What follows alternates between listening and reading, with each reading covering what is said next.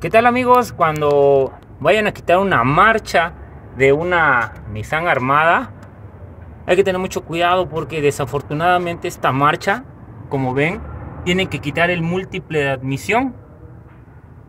Es el múltiple de admisión para que le comenten a sus clientes que pues cuando se tiene que cambiar la marcha por carbones o porque ya no sirve, pues el costo sí es un poquitito altito por todo lo que tienes que trabajar. Tienes que quitar el, el, el, múltiple. Algunas ocasiones piensan que es fácil. No es fácil. No es fácil, amigos. No es fácil.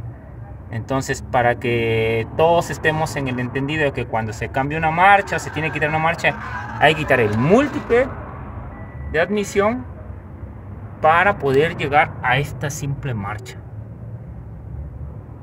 Ok, señores. Y acá está el múltiple de admisión. Esto lo tienes que quitar junto con el riel de inyectores para que puedan trabajar la bendita marcha. Esta es la marcha. Y no está fácil, amigos, como piensan todos. Vemos, saludos, bye.